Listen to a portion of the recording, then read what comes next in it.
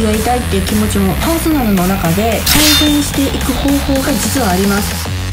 私がお教えしますので10、10、あ、まだ行こう。頑張れ。はい、頑張る。ただ強くなりたい、まあ、ベンチプレス男性ならばね、100キロ上げたいとか。はい、マッスル武術格闘技研究会ですああ、また、こだちチャンネルの。こだち先生出てくれました、はいよろしくお願いしませす先生ちょっとメガネ外してもらえますか？先生ね絶対にメガネ外した方がいいと思う。外した方がいい。はい。外して、まあ、見えないですよね。全然見えない。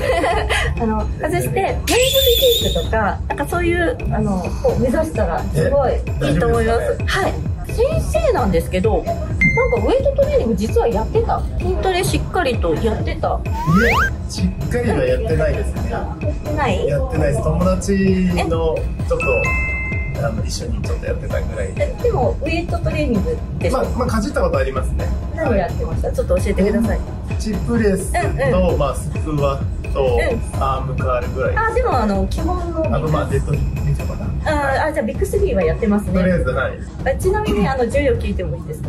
いや全然あの自分肩壊してるんで1キロ上がんないですね。当時 10, 10年前で、えー最後90キロみたいな。あでも惜しいですね。で20代の頃は肩壊れてなかったんで1キロ普通に上げてそれたすごい。やっそうですよね。あの先生結構胸がプクプク動くあすごい。すごい。ちょっと待って私そこまでピクピクは動かない。先生の方がすごいですね。胸のトレーニングしたら結構ピクピクいくんですけど、い。やっぱ先生の方がすごいですね。全然すごいですね。はい、えー、ベンチプレスなんですけれども私の方が100キロ実はベンチをですね練習で上げてまして大会の時には100キロで目指した時があったんですよね。だけど、まあその時は失格しちゃいました。あれ上がったのにとか思いながらもなんか2段上げみたいな感じの審査されて公式では100キロ上げてはないんですけれどもまあそのような感じまでは持っていったことがあります、まあ、それフルギアのあのベンチプレスのフルギアってあるんですけれども、まあ、フルギアの大会の方ですね。ノーギアの方はあの82.5キロが公式の記録です。で私の方も肩ですね。小立先生と同じであの肩の方ちょっとあの故障しましてあと減量がどうしてもボディービルとパワーリフティングと両方やってるとせっかく伸びたところで、まあ、減量でガクンとベンチ落ちますので、まあ、その繰り返しとかあったりとかして本来ならばノーギアでももう100キロぐらいすぐねあの到達してるのが、まあ、80キロ台でいろいろやってますね。でもあの女性で女性と男性やっぱりどうしても違いますので、えー、大体女性が上げる重量が重量の2倍、まあ、男性が上げる重量で計算すると、まあ、女性が今例えば40キロベンチプレス上げる女性がいるとすると男性で例えるならば80キロその人は上げるとか女性で50キロベンチプレスを上げるならば男性で例えば100キロ上げるって感じで計算していただいたらいいですね。大体女性60キロが壁です。あのベンチプレス強い人とかで。でそれ以上伸ばすとなるとやっぱりあの結構専門的なトレーニングとか組まないとなかなか伸びなかったりとか男性もそうですね。ポテンシャルだけでうんと運動経験があってポテンシャルだけで、えー上げるとまあ初めから80キロ以上上がる方もいらっしゃいますけれどもじゃあそれ以上伸ばすあるところで止まりますのでそれ以上伸ばすとなるとやはり専門的などういうサイクルでどういうふうに重量を伸ばしていくっていうセッティングしたトレーニングがあるんですね。それをやらないとやっぱり何年経っても同じ重量でとどまってしまいます。でその方法をですね小立先生にお教えできたらなと私は思ってます。で私もあの肩壊したこともありますし今現在もちょっと肩壊してるんですけれどもあの小立先生が肩が痛いとか肘が痛いっていう気持ちもよくわかります。でそれもあのパーソナルの中で改善していく方法が実はあります。提案する方法改善する方法もありますので、まお任せしていただけたら肩もねなんとか直していきながらベンチも20代の時の小ダッチの重量を超えるぐらいまで伸ばせるようにお手伝いしていけたらなと思います。どうか私をね利用していただけたらなと思います。先生、い。えなんかのちょっと先生ウェイトトレーニングえ受けてみたいですか？やりとりで。見たいです。あそうなんですか、はい。なんかメッセージのやり取りをなんかたまたまちょっと打ち合わせじゃないですけど全然関係ない打ち合わせ。あのチャンネルの編集のこととかで打ち合わせした時に先生なんかたまたま雑談の中でおっしゃっそうですていたので。ね。やっぱり自重にはちょっと限界があると思いましてちょっとウェイトも取り入れた方がはい。いいのかなと。えどうするんですか？ウェイトトレーニングは。人に教わるのが最短の道かなあそうですね。それの方が早いと思いますので、はい。多分先生だったらテクニックがあるんですよ、はい。ちゃんとしたフォームとか、はい。そういうのもありますのでそれをそのままお伝えすることとかもできますけど。とはい。えパパーソナルでやるんですか？もちろんです。パーソナルお願いす。るありがとうございます。先生ありがとうございます。じゃあその時はい。頑張ってあのぜひとも頑張りますコンテストデビューも。テスト。を目標に。だねあのどうせやるなら。そうですね、はい。あのなんか先生に合いそうなコンテストとか探してみようと思いますので、はい。ありがとうございます。はい、ありがとうございます。問い活道場で無料で受けられるウェイトトレーニングのグループレッスンクラスの一部をご覧ください。で、この位置でいい。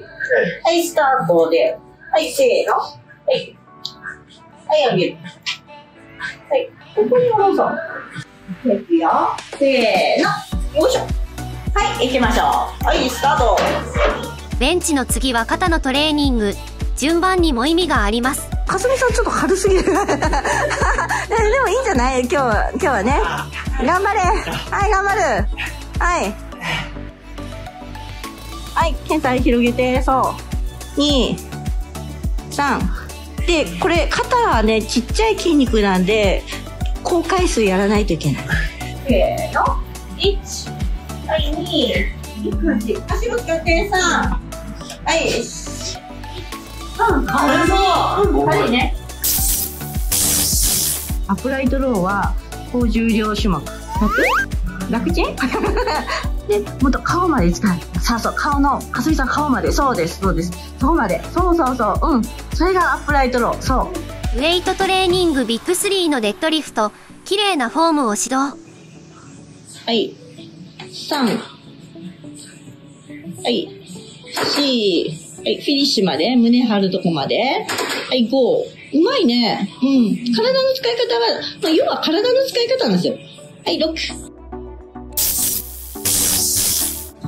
えっ、と、ここですね。あの、毎週木曜日と、で、あと7月になってから土曜日、朝10時から、ウェイトトレーニングクラスやってます。で、ちなみに、これちょっと自慢なんですけど、多分、デスリフトのやり方とか今日教えたんですけど、きちんとしたフォームで教えられる先生を格闘技ジムで全国の探すと、まず一人もいないと思います。これは国内で唯一だと思いますので、まあ、ぜひですね、こちらに来ていただいて、まあ、一緒にトレーニングしていただけるといいと思います。あと大会もたくさんありますので、大会情報もお教えしますし、なんなら、うんここにいるメンバーですね、まあ将来的に国体に出るかもしれませんので、ヤフーニュースも狙ってますので、皆さんね、応援してあげてください。まあこれだけは国内で唯一だと思ってますので、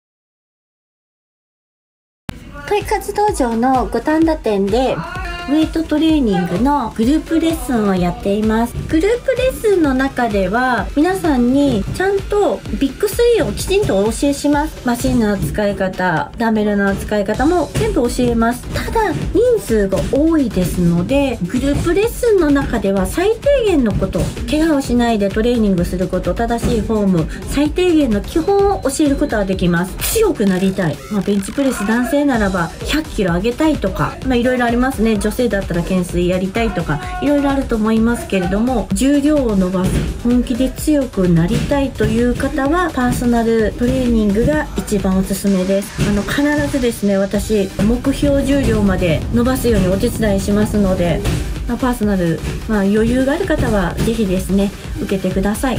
ただ最低限の使い方が分かったら自分でトレーニングするからいいよとかいう方はですねグループレッスンに来ていただいて、まあ、フォームとかチェックしますのでその中で参加していただいたら利用していただけたらなと思います。専門のウェイトトレーニングジムで教える内容ですね。私お教えします。グループレッスンの中でもお教えします。ただどうしても重量は皆さんのこう目標をね強くしていきたい重量にどうしてもセッティングはできません。あの時間の関係もありりますので、まあ、だからあの最低限のフォームになります。でもですね私あのジムにいる時はですね質問は自由にしていただいていいので、まあ、自分が自主練でトレーニングしてて何か困ったこととかどうしたらいいかなって思うことはいつでも捕まえていただいて質問されていただいても大丈夫です。だからあのうまくねあの使っていただけたらなと思います。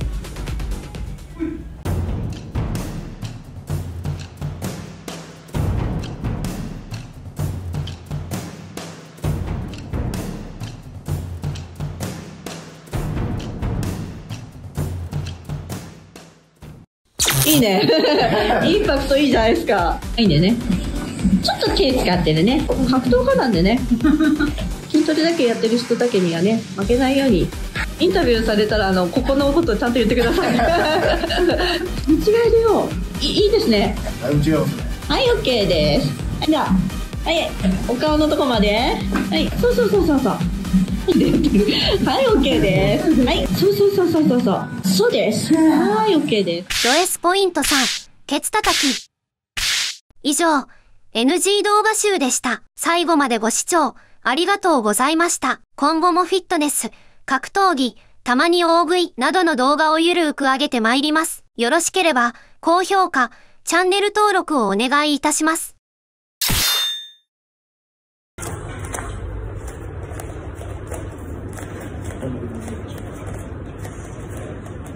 I was at that, that, that, that, that.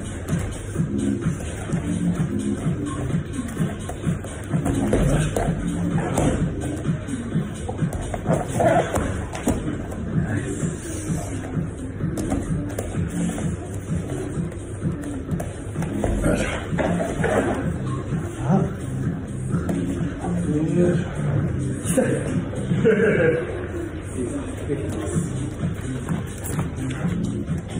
い、せーの。よいしょ。ごめんなさい、バタバタして。で、えー、っと、で、すごい。簡単にやってくだまさた、バババいことするで、こうこっち側から、こうで、やばいやばいってなったらはい。こういうふうにやって。あ、逃げられた。や、やばい、逃げられた。え、何これ。何これ。さすがこれ、あ、アンパン。アンパン。さすがださすがだ強いあバックトゥルバックトゥルどうしたらいいでバックトゥルバックトゥルバック取っていいですかそれを水をはいはいすいま。せん。え、すごい。一回こうやっていいですかはい。やば、いった。いった。初めて。こんなこんなやり方もあるんです初めて。どうぞどうぞいや、いや、いや、あ、こうだ。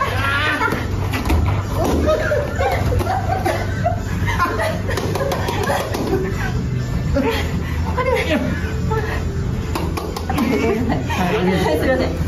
大丈夫ですそれではですね今回はあの木村木村ロックで有名な木村を先生に教えてもらいます。先生ちょっとあの教えていただいたので早速ですねやってみようと思います、はい。これどんな場面で使えると思いますか？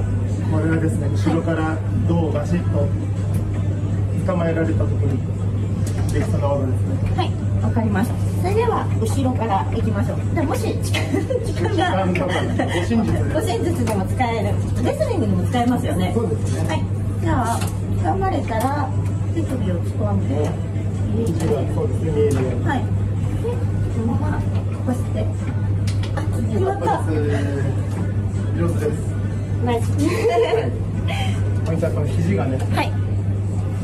肘よりも奥の方に自分の腕を巻い。てあげるとい。い。ですそれでは木村ロックの今度寝た状態バージョンでい。きます。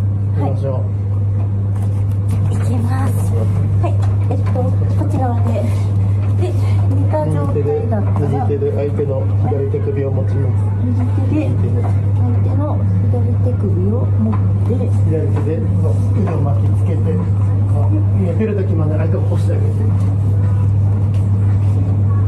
あこれできますこれ先生自分から来てじゃあもう一回行きますもう一回行きますはいこここで左手でちょっと相手を起こしてあげてください。あ左手で。あ決まった。これあの桜庭さんのあの試合の時にやってた技ではありませんね。桜庭とも言う。桜がはい。ありがとうございます。はい。はい。これって先生充実で言ったところの色で何何帯ぐらい？まだ白。あ白帯で使います。白帯で使える。白帯でも使えます。はい。はいぜひ。ありがとうございます。はい